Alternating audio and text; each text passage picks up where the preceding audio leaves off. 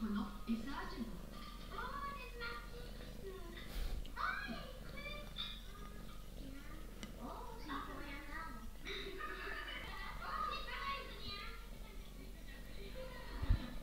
un goûter très animé, défi réussi pour Nadège. En fait, euh, leur réaction pour moi, c'est euh, ma récompense. En fait, euh, je passe du temps à faire des.